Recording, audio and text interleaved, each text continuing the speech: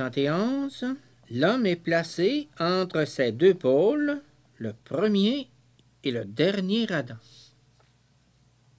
Le corps humain se révèle dans la résurrection comme incorruptible, glorieux, plein de force spirituelle.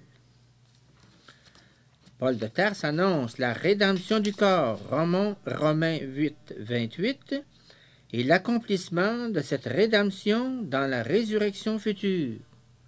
1 Corinthiens 15, 42, 49. En opposant Adam et le Christ ressuscité, l'apôtre indique les deux pôles entre lesquels, dans le mystère de la création et de la rédemption, l'homme a été placé.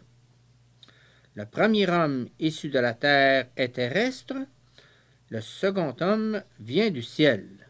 1 Corinthiens 15, 47. De même que nous avons porté l'image de l'homme terrestre, ainsi nous serons revêtus de l'image du céleste. 1 Corinthiens 15, 49. L'humanité du premier Adam, homme de la terre, porte en soi une particulière potentialité, qui est capacité et aptitude, à accueillir tout ce qui devient, tout ce que devient le deuxième Adam, l'homme céleste, c'est-à-dire le Christ, ce qu'il devient dans sa résurrection. Cette humanité corruptible contient toutefois l'aptitude et la tendance à devenir glorieuse à l'image du Christ ressuscité. Le corps humain peut saisir et reproduire dans cette terrestre image et ressemblance de Dieu également l'image céleste de l'ultime Adam, le Christ.